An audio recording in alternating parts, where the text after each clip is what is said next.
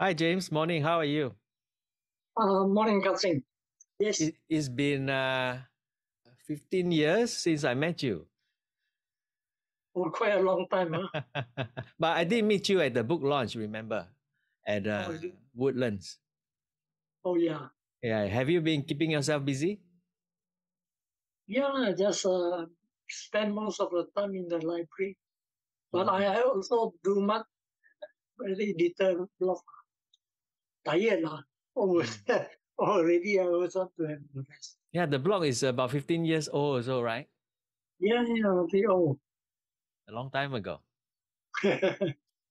you told me before that you lived in uh, the Bukit Ho Swee Kampong uh, before yeah. the 1961 fire. Could you describe the kampong for us? Yes.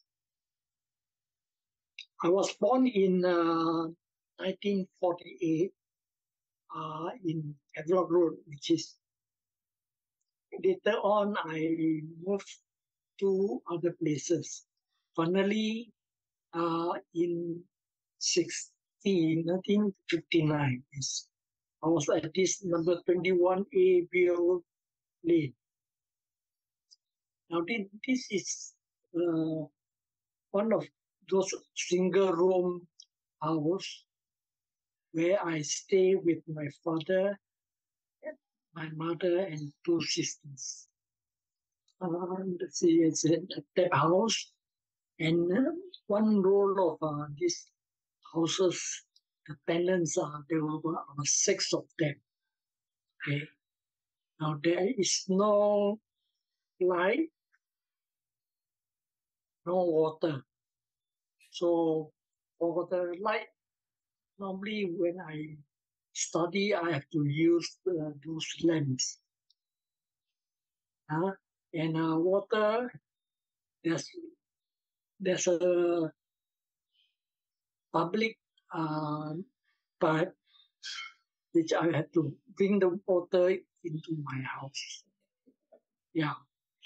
So when I was there, I started with studying uh, in this uh, this Chinese uh, school for only two years. Two years is uh, standard four, and then after that, I I was uh, registered in a English school at the Delta Primary School. The first school, the Chinese school, was Kaikok, was it? Yes, it's Kok, correct. Uh, so that was near your house, isn't it? Uh, yes, very near to my house. That's why I every day if I go and just walk, walk to the school. so what I would say is, uh, you know, uh, from the school days at uh, Shui is uh, very carefree, you see, because uh, there's no much of traffic, and uh, you know, I just help my mother, you know, and he will kill some chicken, some ducks, and also do some, uh, you know, planting, you know, the chili, uh, uh, bitter gourd, all that. Yes. How many of you, you were in the family? Uh, with two elder sisters, my father and my mother. So five of us, all in one room. So my father have to, you know, in the kitchen, in the night time, my father will sleep in the campus bed. Uh, what job was your father doing? Oh, my father, since uh, since I was young, he, he is a bookkeeper. You know, doing Chinese accounts in one of the this uh, trading school, uh, trading shop near near the Singapore River. Mm. I only studied four years of education, two years, uh, but they call that one before every year there are two standard, you see. Mm. So uh, two years is four four standard. Ah, okay. Uh, what about your mother? Uh, did she work? My mother, Yes. my mother is, is not working. Housewife. Do you remember your neighbors at uh, Beo Lane? Neighbors. Uh, very few, but I know it's uh, one of the sons of the landlord. Uh, actually, he's rearing this uh, fighting fish. So every time they will use this fighting fish, you know, like it's kind of a bad thing, you see. Gain money and he seems to have a lot of winners. Mm. Did you do that also? No, no, no. Will give those those already after fighting the, the fish will give to me to play. Can you say a bit more about Kai Kok?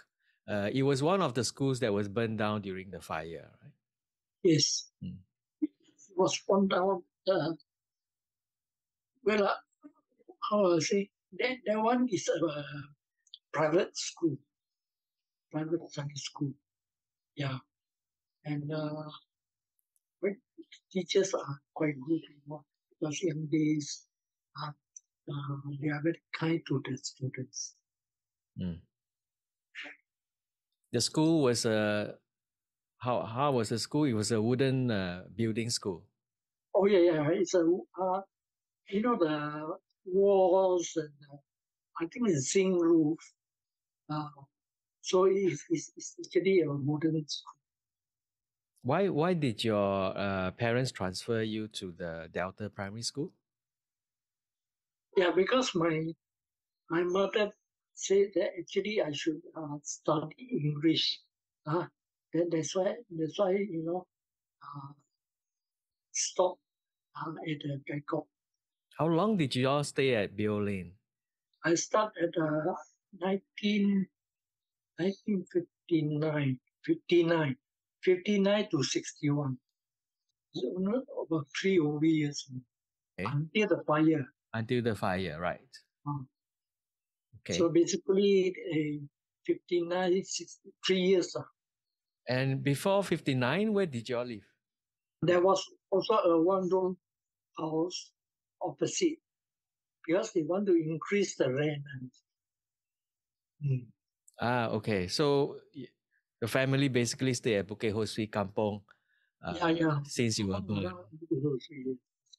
Tell us a bit about the life in the kampong. You know, most of us, uh, you know, younger people in Singapore never had a chance to live in a kampong.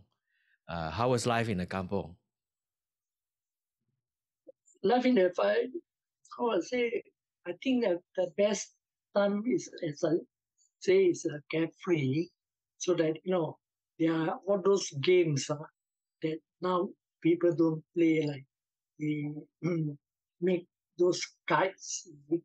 So when they meet the kites, they'll fight and then they'll run after the kites, which was very dangerous.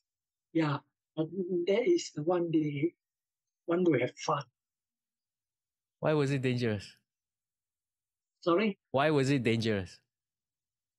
because even when um, the kites, you know, is near on the road, then there are cars going around, so they, they cannot stop to, to help the children.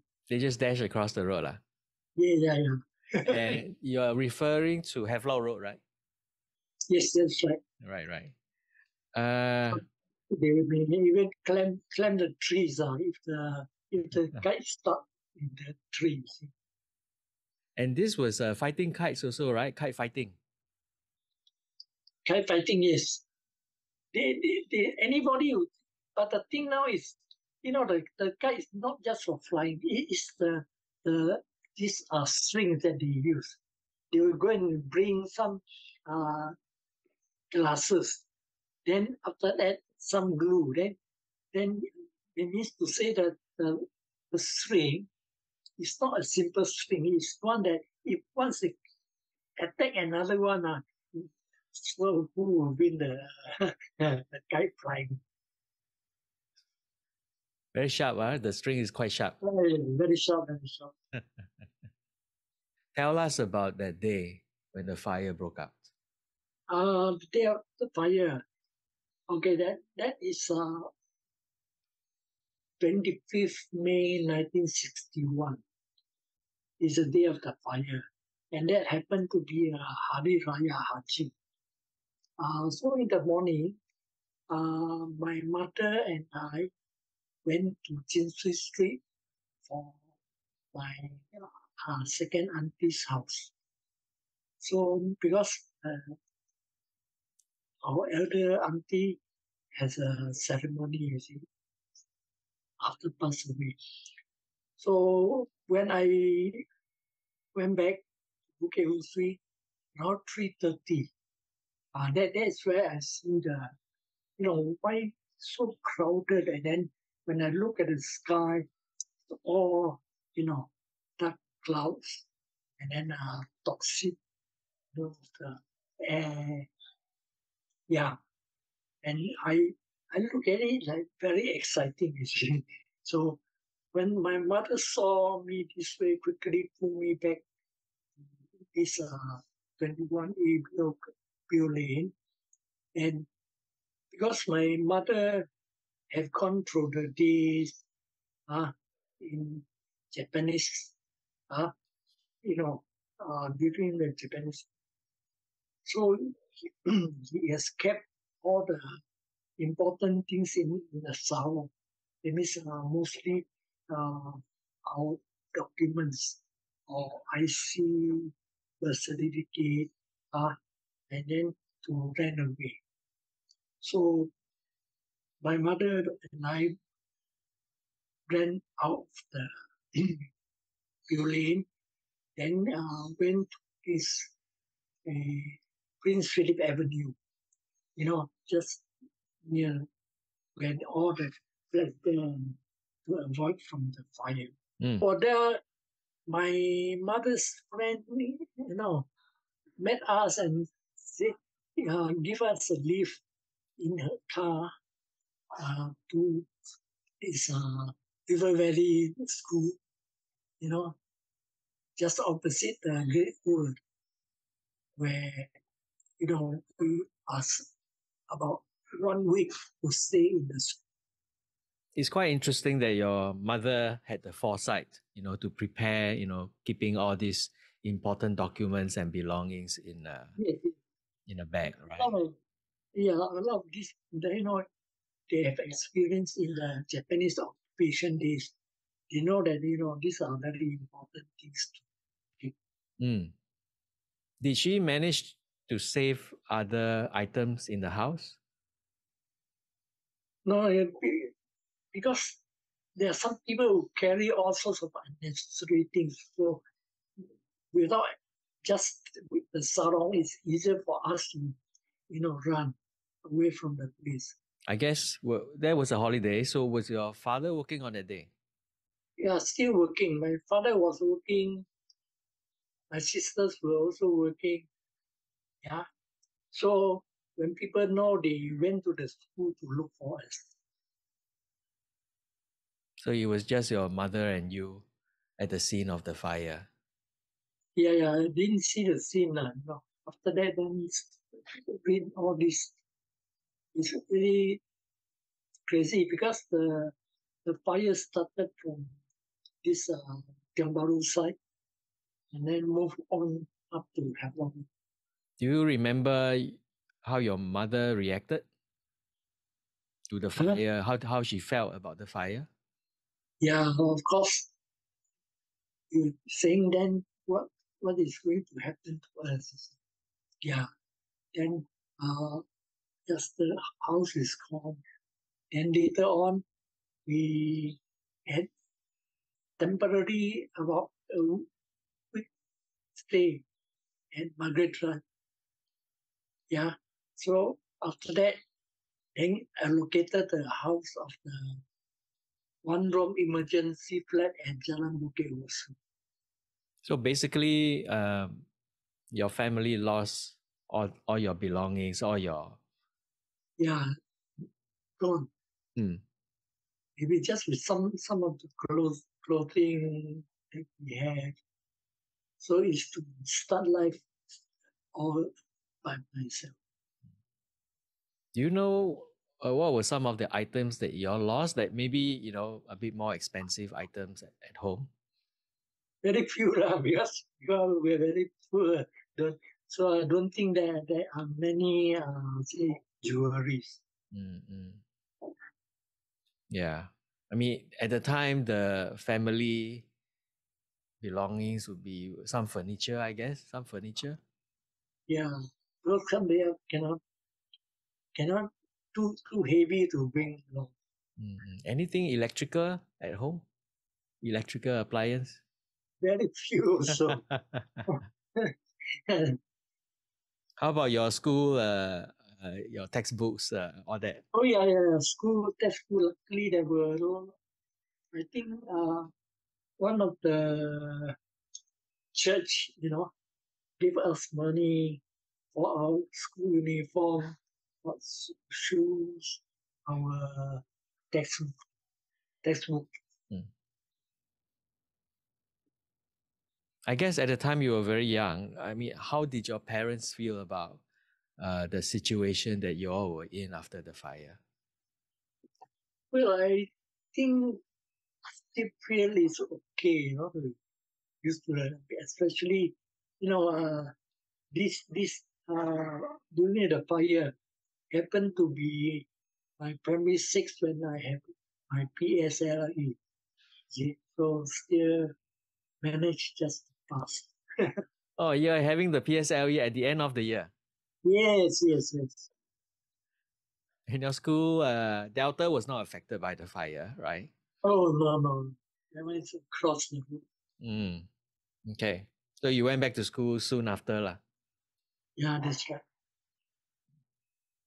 Tell us about the um so there was uh, some temporary housing that you all lived at Margaret Drive.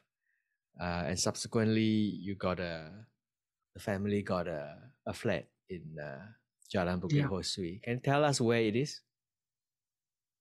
That one is, uh, I think, also removed already. It's, it's a uh, rented flat that have not been allocated. That is why the fire victims uh, were given a chance to stay there. Mm-mm. Because when this is being done, you know, the Jalan Bukit Ho Swee emergency flats was building. And they, they, they, they took very, six, nine months to complete the building. Which block were you all given? Uh, I stay at uh, block 9, Jalan Bukit Ho Swee, block 9. Ah, okay. This was a one room emergency flat. Yes, that's right. They have six stories. Uh, there were no leave. Yeah. And, uh, you know, the these tenants there, they, they don't have a toilet. So it, it's a common toilet to be shared by the fire victims. How did you feel about sharing toilets? Huh? How did you feel Sure. about sharing ti- Oh. toilets? Especially when going to school, I had to be the ear- earliest. You know, the, otherwise there'll be a long queue. You know, yeah, Because the from what I understand, the toilets were at the end of the corridor, right? center, no, no, in the in the center. In the center. Center, yeah, that's how the lift. So they, they have a cover. Then I think it's about six six uh, toilet. Sorry? There's there are six toilets. Yeah. Per, then, per story, is it? yes. Okay. No, every floor. Every Every floor. floor there, there's three, three room, three toilets on side, on left, one right. See, So one thing everybody need to use uh, before going Ah. to work or going to. Then there's a wall that covered We know that there is a toilet. And male and female toilets. No, no, no, no, no. Male, Huh? female, all, all mix, all mix. Male, female can use. Okay, so the toilet was just basically one one stall, lah, right? Mm. Each toilet is one stall. You can just go in and lock it. Yes, yes. Okay. Toilet must have been smelly. lah. very heavily used, you know. And uh, was the kitchen also shared? Kitchen, ah, kitchen not, not, not uh, our own use. No, you have your own kitchen. And one is for the bathroom. Sorry? One bathroom and one kitchen, that's all. Ah, okay. It's very small, it's only one room. All right. So actually, the room uh, has uh, has its own bathroom, just not its own toilet. Yes, correct. Why they build like that, huh? yeah. Save, save the space. ah. Yeah. So James, can I ask you, uh, when comes to the allocation of housing after the fire, did your family consider moving to another kampong instead of the HDB? No, also, I I think almost all the those you know of uh those what attap uh wooden houses all, all gone all burnt. you See, so there's no place to, to look for a house. Yeah. But Well- they, they allocate to all the uh, fire priority for the uh, fire victims. Yes, yes. Uh, but there were other kampongs around, right? I mean, uh, across the road there was Kampong Tiong Bahru, and there were further kampongs in the area also. Was No, that an option? Smaller ones, not as big as this, uh, Mm, you know, 1961 fire. mm. Were your parents uh, glad to move into uh, Block 9? Well, I find it more convenient, you see. Ah. Mm. Cleaner and also don't have the uh, fire hazard. Did they have to adjust to living in a in a modern flat compared to a kampong house? Yeah, I think so. I have to. Mm. Because we we staying on the first story, so every every day I have to use the staircase. How about yourself? Moving from a attap house to a flat. How did you feel about that? Well, I I found it's cleaner, and then you know can get tap, can get tap, you know. Then there's uh, no need to use the the these uh, lamps, uh, for light. It's quite amazing, right? When you turn on the tap and the water comes out, the clean Yeah, yeah. water. That's right. that's right. So um, I remember the government gave some subsidies and some assistance to the families after Yes. the fire. So did that help uh, your family to recover from the fire and build up again? I think so. Yeah, quite quite good. You know, depending on the number of uh, you know family. Yes. How long did you stay at uh, Block 9? Long line, I think stay about, about three years. And after that, we uh, rented the three room flat at the Jalan Rumah Tinggi. Hmm. A lot Rumah- of yeah. so that's why they, they have, uh, you know, remove all the one room flats. Mm, they demolished them, right? Yes, correct. Mm. Rumah Tinggi is nearby, isn't it? Not say very near, it's more to the uh, Queens, Queenstown side. Uh, near Jalan Jalan Rumah Tinggi is near Jalan eh, Bukit Merah. right, right. Yeah, it's near Bukit Merah. Um, that was a bigger house, better. Mm. You have uh, you don't have to share toilets anymore, right? no, no. One three room is quite comfortable. What would you like people to know about Bukit Ho Swee? Yeah, so basically it's, it's, it's just uh, people young after HDB start building all the more and more these flats, uh, and they have to uh, for sales of flats to uh, Singaporeans. Uh, that, that that's why I think the, the the fire itself have you know more or less initiated the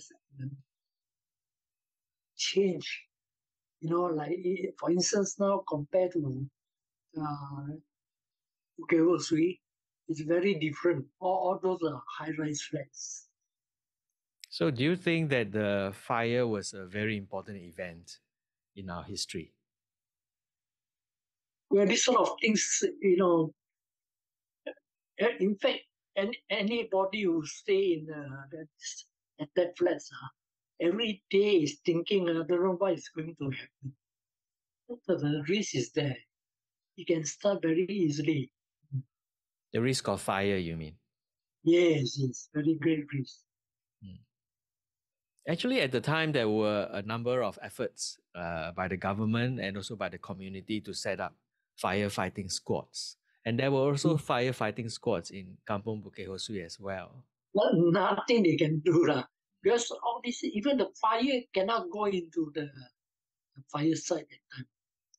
And also, uh, we may not have enough water, uh, water to, you know, stop the fire. Yeah, yeah. You you were saying the fire engines cannot go into the kampong, right? Yes, yes. Mm. You know, maybe you can describe. Quite a Havelock Road, you know, the, the building, the MCA building, mm. the only one that can be saved by them. Yeah, because that wasn't at that. That, that was a concrete house. Yes, yes. Still around today. Yeah, I hope they, they live there. Otherwise, they be pulled down also. Yeah, yeah, they're still selling a lot of uh, good uh, Teochew porridge there. Yeah. but you know, my uh, my old block is gone already. Block 29 is gone. 22, 29, no more, is it? No more. They demolished it a few years ago. Now it's flat. Yeah. Well, last time you stay with your grandmother. My grandparents, that's right. Yeah. Mm. Uh, my school, my school is also gone. Havelock School is gone. Oh yeah, yeah, yeah. Havelock School gone. Your blog is gone long ago, lah, right? Blog nine is gone long ago. I'm lying. Oh, long ago, long. There was a, a very lively entertainment area over there, mm. right? The Great World. Yeah. Do you have any memories? Great Wall. Great World, is it? Yes. We are Great World is my favorite. yeah. The first time that my mother me there, and especially when they have this exhibition, you know, yeah, it's uh, best entertainment for children that time. What did you do there? Did, did uh, were there movies there or were there games there? Oh, lots. I used to watch movie there because there's one that's Atlantic. Atlantic mostly those uh, Chinese, uh, the martial art movie. Because for 50 cents, I can see two frames. ah, wow. Yes, yes. Back um, to back, is it? Yes, yes, yes. mm. That's about three hours of watching movies.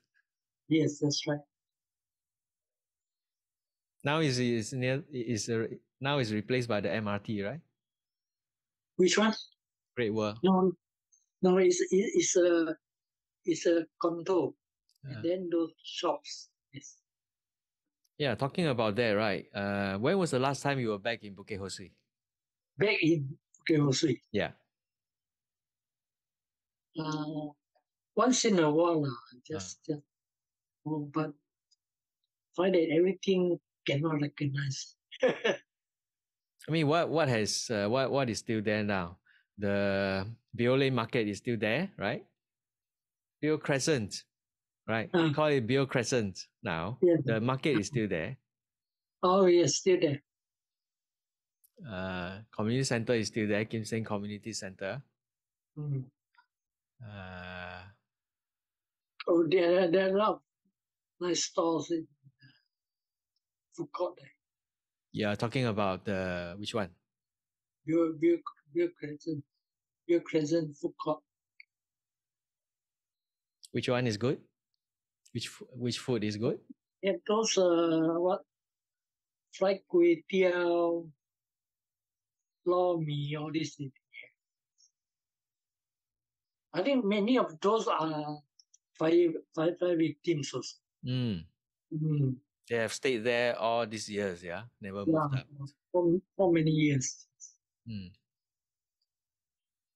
But now there are so many of those uh, huge condos in the area, right? Opposite the MCA, Yeah, yeah, yeah. Havelock View, they call it Havelock View. is it called Havelock View? Yes. I think last time your this block 29, uh, very soon will also be high high high rising building. I mean, last time it's like six stories or nine stories considered very high, right? Yes. But now, uh, you know, you have 25 or 30. Yeah, yeah, correct. Do you like to live in high rise? It can be ever lah. But it's a lot of privacy uh, Oh. Mm. compared to, to kampong. You know. I remember we once took a walk around Bukit Ho Swee Yes, with yes. uh, Dig Eat, right? Oh, dig even. Yeah, yeah. Yeah, yeah, yeah. I- Um, those days they go for dinner. Yeah, yeah. Any feelings about uh, Bukit Ho Swee? Yeah, these are good memories. There, which uh, because the youngsters are very lucky, know, for that type of uh, kampung life. Now Singapore don't have any kampung life. Do you think we we can recover that, you know, kampong spirit, that gotong royong? Yeah, How, how should we do that? I think very different uh, because of the, you know, circumstances there. Uh, they, they find that, you know, they, they, they don't have like, now if you stay in HD, right, you don't even know who are your neighbors. True. Yeah, it was a much better time, right? Uh, you know, when you can leave your door open and uh, you know Yeah, people to come in. Yeah, correct, correct. Mm. So when you first moved into Block Nine, did you feel that that kampong spirit was already disappearing, or it was still there?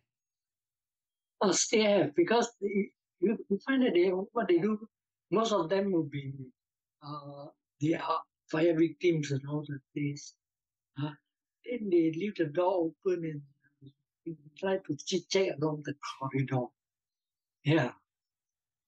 Are you still blogging these days? Huh? Are you still Not- blogging? No. yeah. Tired. Tired. Mm. You know our group, right? The group that you set up, right? Tell us about this group. I grew up in Bukit Ho Swee. Oh yeah. That one yeah, it's quite good. I, I left it on the Facebook. Yeah. Yeah. So, so many of them are the grandchildren. I can tell them. No, otherwise, if they go down to this uh, KMC, cannot recognize the place. Why did you set up that group? Hmm? Why did you set up that group? Oh yeah, because I want to learn more from them under different situations. Yes, You want to learn from them. of course. I mean, we, we are different parts of Bukit Ho Swee. Yeah. So they will tell the the story how. Uh, in fact, there are some video already. You know, they say, you know, wow, they, you know, even the they this uh what they call that sewing machine uh, try to bring home, but then rather than the children themselves. I'll let the listeners know that uh, currently the group has more than uh, 2,800 members. Is it so? Oh, that's good. Thank Thanks you. to you, James. You know, you did a great job to create that group. Thank you. Thank Yeah. you, Kah Seng. Uh, you know, uh, and they are quite enthusiastic to share, you know, but also to learn uh, what the history of Bukit Ho Swee is. Yes. You know, I don't think many uh, places in Singapore, right, have that kind of memory and you know cohesion in a sense, right? That you know this is a special place somehow. Right? yes. Thank you. Uh, yeah. Thank you for for us to share these stories. Yeah, and uh, we will still be on the Facebook group. I grew up in Bukit Ho Swee. Please check it out. And Sure. uh, James, uh, please uh, continue to blog, continue to write on the Facebook group, and uh, we we want to hear your memories as well. Thank you very much. Thank you you, very much, James. Bye bye. Bye.